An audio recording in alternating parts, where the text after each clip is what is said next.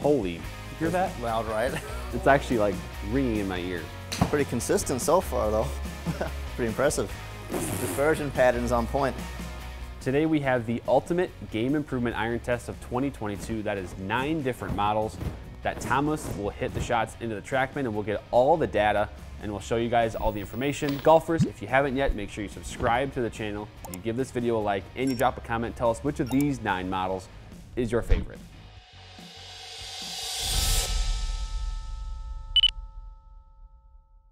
Hey golfers, I'm Drew Mahowald, Second Swing Golf, joined by Thomas Campbell, Master Club Fitter here at Second Swing Minnetonka. And Thomas, a big video today, nine game improvement irons in this ultimate test uh, of 2022. These models have all been in the fitting bays here at Second Swing, uh, been you know running out the door for customers, getting them into the bags. Um, again, this is that type of golfer that's usually the most common. Players need this type of performance. So, what have you seen from these clubs so far? Yeah, and this might be one of our longest videos for good Yeah. reason because a lot of golfers want to know which game improvement iron is going to be good for them. Yeah. Um, what I'm expecting to see is distance. Mm-hmm. and forgiveness. Those two words, when, when I'm talking about game improvement iron, Right. that's what we're always discussing in the fitting bay. Mhm. And then even further than that, you know, you we also talk a lot about the launch and the spin in terms of making sure there's enough for a golfer. Yep. Um, because these irons, we I mean, it's it's that elephant in the room, but it's it's there. Then the loft piece, right, with each of these models, it's getting a little bit stronger year by year with this type of iron and how strong the loft is. So we will discuss all of that information, making sure the ball is launching high enough with these clubs as well. Uh, but we got a good mix of brands here. We got some that aren't super popular. Um, for example, Tour Edge uh, C523 is in this test, and it's been a really good performer when we've tested and when we fit it. We've also got Srixon ZX4. We've got Wilson D9. Then we've also got sort of the bigger names out there, right? For example, Cobra LTDX, Callaway Rogue ST Max, the Mizuno JPX 923 Hot Metal, uh, the TaylorMade Stealth, the Titleist T300, and the Ping G425. So nine miles in total, Thomas. So how are we going to go about testing these nine different clubs here? Yeah, so first off, let's talk about the golf shaft. So for the most part, these golf shafts are the exact same. There's a couple of manufacturers who don't have the exact same weight. Yeah. Um, we, we may be off by a couple of grams, but these are all going to be KBS, lighter, regular flex. Okay. For the test, I'm going to be swinging like a lot of viewers are going to be asking for. I'm going to be swinging with slower swing speed. Yeah. Probably right around about 80 miles an hour. I'm also going to uh, increase my attack angle. Yeah. When I say, I sorry, decrease my attack Yeah, angle. well, hit increase the negative number. Yeah, yeah, correct. I see what you're saying. Um, so you've noticed a lot of testing I've done in the past when when I've been hitting irons. I'm more of a sweeper of the ball. Yeah. Well, I understand most golfers that fit into these clubs are going to kind of maybe hit down a little bit more. Yeah. So I'm going to try and get that attack angle down. And I'm going to pay attention to the path and face angle as well. My goal is to try and match up club speed, match up path, face angle, and attack angle, Yeah. so I can give you the most unbiased test of all these game improvement irons. I mean, that is a tall task uh, to, to try and swing as close as possible in those numbers. Uh, but we're trying to get as scientific as possible. We have the right person to do it. So, um, Thomas, you ready to get started here? Let's do it. All right. That's pretty good. Yes. Look at that, negative, look at those path numbers. Swing like this more often. All right, it's five with that one. There we go. Pretty impressive. Dispersion patterns on point.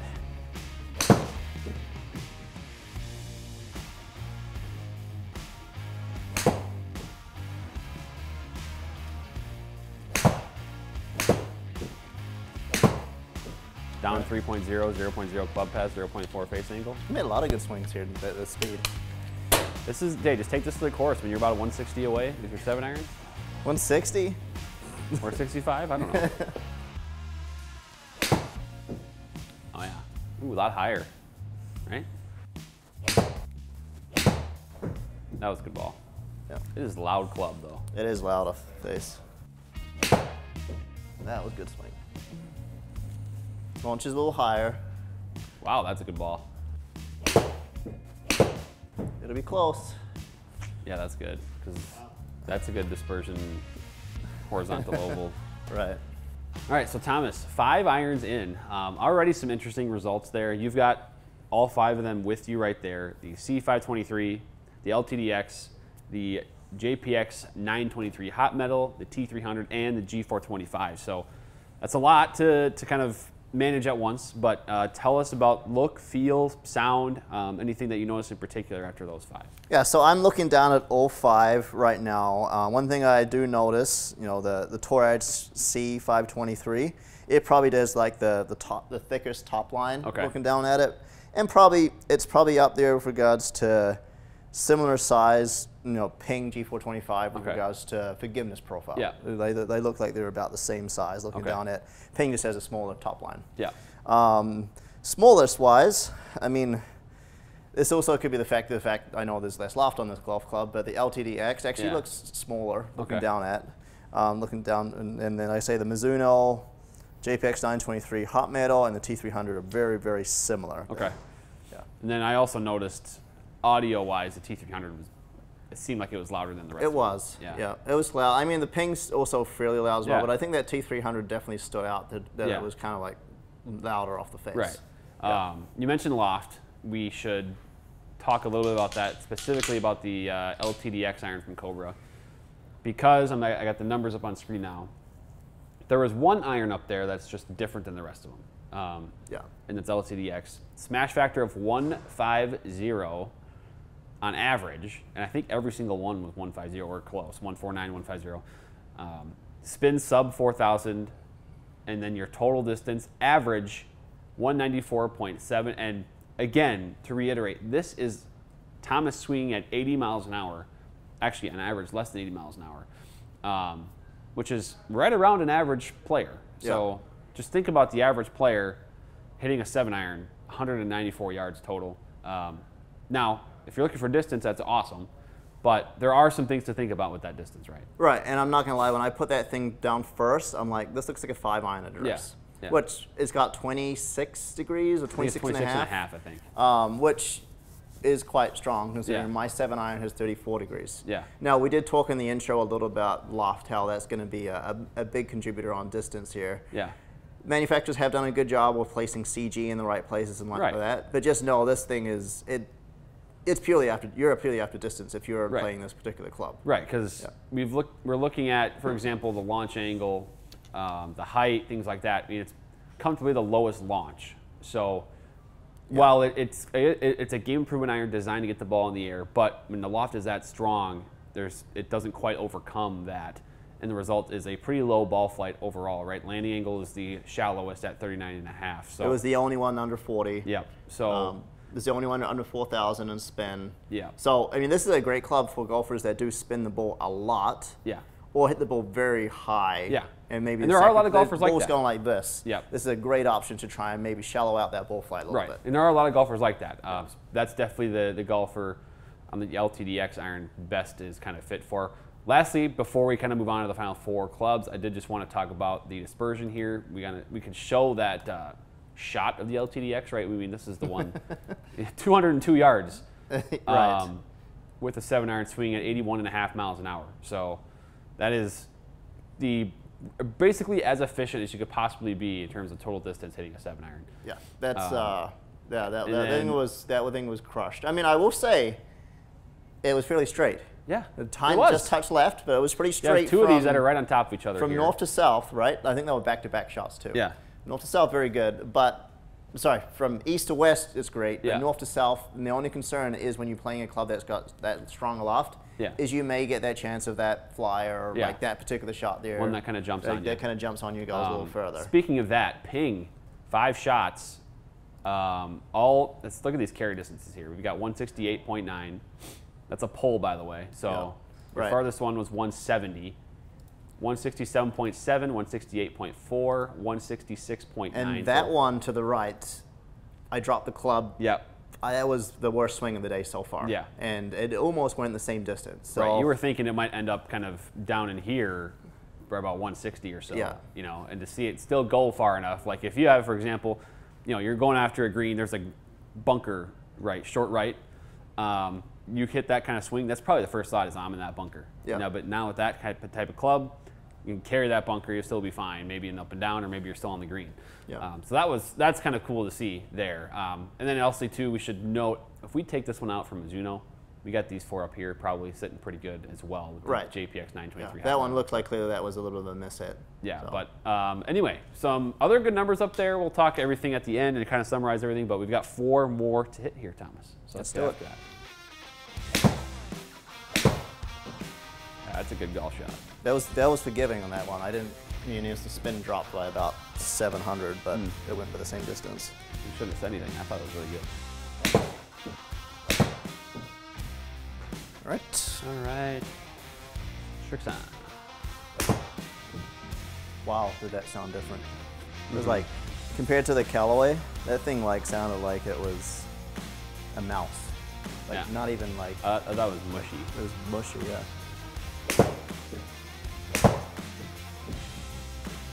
Good dispersion pattern there. Yes, it is. Wow. We're seeing a lot of high carry or high 160s carries to low 180s totals. Yeah. It's not the furthest one left of the day. Holy. You hear that? Loud, right? Holy God. Be back to numbers kind of close to the Cobra, maybe. That. It's actually like ringing in my ear. Pretty consistent so far, though. All right, Thomas. Um, the last four of the set here, right in your, uh, well, right in front of you there. Um, interesting results in the last four. Let's walk through first. Look, feel, sound, the you know the, Yep. the routine here on those last four. I think I got to touch on sound first. Yeah. because all four of them were so different in their in their sound. First, it started off with the the Callaway that was loud, Yeah. and then we hit the ZX4, and that sounded Sound like a forged iron almost. right. It was very very quiet. Yeah. I was very I was shocked how much quieter it was, and then it was like moderate with the uh, with the Stealth, Yeah. and then the D9 was explosive. The D9, uh, I can still hear it in my ears right now. uh, it was Yeah. ringing uh, in my ears. Uh, it's a very loud club. Uh, anything different on looks? Similar? I mean, we're all, we're talking about game improvement irons here, so they can't be that different. But So these were all, you know, fairly, I guess, meaty. I guess, Yeah. like you know, they, they got fairly thick, thick top lines. The ZX4 would probably maybe just qualify as the smallest look down it of the four, but the top lines in all of them is, you know, they're they're fairly meaty clubs. yeah, yeah. Um, the soles are also, you know, fairly Yeah, they're sizable as well. They're yeah, they're pure game proven irons Mm-hmm. for sure. Yeah. Um, I've got the data for just those four up here quick. We can go over and then we'll kind of go over everything that we've collected. But um, what jumps out at you just from these four clubs here that um, that you just hit? I mean, their their smash factor numbers are pretty similar. So Yep. From from that sense, you I know the lofts have to be pretty close uh, on on them. Um, Rogue ST Max seeing that spin rate just a little bit lower, and Yeah. then that landing angle being a little lower, and then ZX4 landing angle being a little bit lower. That jumps out to me. So Yeah. for golfers that hit the ball very high, you know, think about their their ball flight being like this, you can maybe get them more on Yeah. a normal trajectory. And then D9 was you know was a little higher. Stealth was kind of right in there with guys average. Yeah. So one thing I wanted to point out too, I think there was one shot with the Rogue ST Max, maybe this one. Yeah, this one that you you did miss, um, and you pointed, you mentioned that too. But it turned out so well that uh, I mean, you can see that the spin, yeah, definitely went under the the average, and that's probably why Yeah. the average is under 4,000. Right, it actually, is. Um, is this shot right here, but it's still carried right in the middle of the the average there, right? The average is 171. It's 172.8. So that's some pretty good forgiveness there from the Rogue ST Max. I Yeah. think you kind of hit that one maybe even a little bit fat or something like that. Yeah, it wasn't Still struck see the smash perfectly. really high and really good distance out of it. Yeah, got away with it. I mean, that's the forgiveness you're going to get out of these, most of these clubs in, in Mm-hmm. Right. general. You're going to get a little bit extra out of a toe or a heel strike or a little fat stroke. Yeah. Well, um, anything else here on these four? Otherwise, we can dive into the entire set of data here. I say let's uh, let's dive into the data. I mean, I'm looking here. ZX4, that dispersion pattern was was pretty nice. Um, Yes. so that, that stands out. There's a smaller circle up there. Stealth wasn't bad either. So let's um, let's get 09 up on the screen, and then let's see how they compare. All right, so all nine clubs here. We've got the optimizer from TrackMan up here now, Thomas. So, uh, what are you looking at here? So, you know, one of the biggest things with game improvement irons you were talking about is loft, right? Yeah. Well, when TrackMan came out, you know, you've noticed that they're the generic 7 iron is listed at 35.5 degrees. We know the loft on these clubs is not Not close. that, that close. So what is going to be different between these and a, a, a uh, 7 iron has more loft on it? Well, this is where you're going to notice the biggest difference, right? Is spin. Yep. You can see ball speed a little bit higher in Yep. general with game improvement irons. Spin's going to be lower. So if I had a 7 iron that had 35 degrees loft on it, it probably would be about 6,000 RPMs of spin Yeah. if I was swinging at 80 miles an hour. However, I do want to touch on it because this is a big thing people always kind of talk about with regards to well, game improvement irons is going to go further just because of loft. Yes, it is. But the landing angle, the height is still good. yeah. So we're, we're, there's, you're still getting good things out of it, even though the spin's just a little bit Right. under what used to be optimal. Yep. Now, times have changed when a 7 iron was 35 and a half degrees. Right.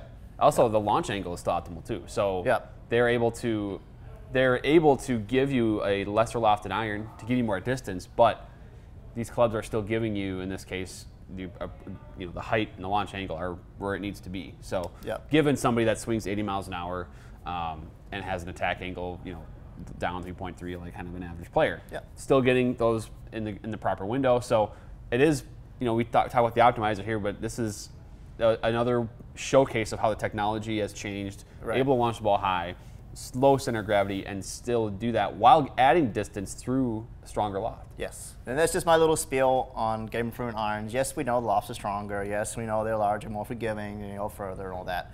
But you can still see Yep. it's performing okay. Yep. Height's still okay. Yeah, the launch interesting angle's still okay. yeah. You're just getting more ball speed at a sacrifice of less spin. Yeah, that's an interesting tidbit there because we do get comments all the time on the channel. People, you know, people say loft jacking and things like that, but um, it's you look at the optimizer, it's still flying the way it needs to fly. Right. Okay, so we've got we've got nine clubs up here. Um, let's try and dissect through the data a little bit, and we can see you know club speed once again irrelevant because the efficiency number is going to be the reliability there. But you can see we're about 80 miles an hour on average of all the all the clubs. Mm-hmm. So let's talk about ball speed. The uh, fastest ball speed, Yep. uh, not surprised, are the two strongest irons. Mm-hmm. Yep. The LTDX, we talked about 26 and a half degrees of loft on the 7 iron, 119.3. Clearly the highest Yeah. efficiency. yeah, it yeah. wasn't really close. Wasn't, yeah, wasn't even close. Um, and then you see D9, hot metal 117.6. There's a lot about 116, 117 Yep. is what we're typically seeing with regards to the ball speed. So I guess that is just purely due to the loft. Mm-hmm. I'm sure if I was going to bend any of these clubs a couple degrees stronger, we'd probably be see the same, thing. Yep. Yep. So yeah, so you can see the smash factor 1.5 143 to 1.50, so very very high. Mm-hmm. Uh, launch angle. So this is going to be interesting here. We see launch angle a little bit lower there. Interesting with the ZX4 compared to the LTDX. So that stands out to me knowing that the ZX4 is not 26 and a half. Right. It's got a little bit more loft on it. Um, so interesting that those two were very, very similar. You can see the attack angles were about the same, path Yeah. was about the same. So numbers were basically the same. But what does that mean? It means the ZX4 of all the clubs, I think, has the shallowest landing angle. Yep. I think it's 39.3 and flew the lowest. Yep. So good stuff there to, to know that the ZX4 is a little lower trajectory Mm-hmm. club. Um, we touch on spin. We already kind of talked about spin, just talking about the optimizer there a little bit, but you're, we're talking basically 4,000 to 4,800. Yep. I think the, the, the big piece here is Ping G425. The loft is about 30 degrees on the 7 irons. It's one of the higher lofted, Yep. and you're seeing that the spin is a little bit higher. So if you're looking for a game improvement iron, Ping always does a good job with their, with not maybe loft jacking as much Yeah. as they as they should. At least with Ping G425. I'm, I'm still yet to see what's going to happen with G430. Yeah. Um, but this is, this is obviously showing great numbers there with Right. regards to spin and height and launch angle. You can see here 43.8, 84 feet in the air. So that one was flying the highest and had the steepest landing angle. Yep, and it's also we should note. I mean, distance-wise, G425 still keeps up with everything, despite having maybe a little more spin and a little bit um, weaker in loft. It still keeps up. It's not the furthest by any means, but Yeah. it still keeps up really well and gives you plenty of, of power there uh, for the golfer that still wants that while also maintaining you know their, their launch and their height and their spin. Yeah, and I would I would give probably Ping the win on dispersion from east to west here too, just on Yeah. forgiveness wise. Remember that this was the one that I dropped the club and Right. it was further right than anything else. But how you look from left to right, Yeah, it's that's, that's better. as opposed to north to south. Right. We talked about the actual numbers. I think it was 166s to 170 was Yeah. every shot was in that window of carry distance, which is really remarkable for a game improvement iron and the way they're built. Plus or minus 1.1. Yeah, that has to be the best one up there. Ooh, we had a uh, 1.6 there with the stealth, but D9 1.8. But yeah, it was the lowest. So consistency and then actually spin plus or minus 140. yeah, might be the most consistent there most too. consistent there as well. So consistency might go to the Ping G425, which I'm actually not that Mm-hmm. No. surprised about. Uh, okay, so everyone wants to know about distance, right? Here we go. Here we go. So carry distance. Um, if we look here, the highest carry distance, LTDX 178 going 194. No surprise. No surprise there. Um, now, there is a little bit of a law of diminishing, diminishing return if you do swing too slow with the little, least amount of loft. You know, I was still getting a landing angle of 39.5, which is borderline manageable. Yeah. Uh, we start getting under 40 degrees with that landing angle. Then we got to talk about well, what's the what's the six iron, the five iron, the four Yeah. iron going to be like. Right. You're not going to maybe have that thing carry as far, and that's when we talk about like the hybrids in there too. Yeah. So you know that, that's always important to pay attention to when you're doing your fitting is that is that landing angle there. But LTDX goes the furthest, spins the less, um, carries and total carry Yeah. and total distance. and also had the, the one shot of the day in total distance that went 200 yards. Um, so most explosive with the help of loft. Um, Yeah. But as we see here in this test, borderline still flying high enough, giving you enough launch. Right. Yeah. Um, okay. So I, I just wanted to touch on this test. You know, with me being the robot today per, Yeah. per se, to try and average it out to closer to 80 mile an hour club speed and Yeah, yeah, attack yeah. angle. You can see attack angle basically negative 20.7 to I think negative four was the highest. My club path numbers were for this test. Every single one was zero point something. Yeah, that's So pretty, darn pretty, good. pretty darn good there. Face angle zero point something to one. So this, is, I mean, this is about as close to numbers you're going to get. You're seeing the face to path numbers there. Yeah. So you want you want some reliable data. This is the reliable data you're going to get out of these particular clubs, comparing all these nine clubs Yeah. overall. Yeah. Um, curve, you're not going to see that much curve because my path and face angle was very, very close to zero. Um, I mean, there was only one that was over 10 feet, and that was 11 feet to the left Yeah. with the stealth.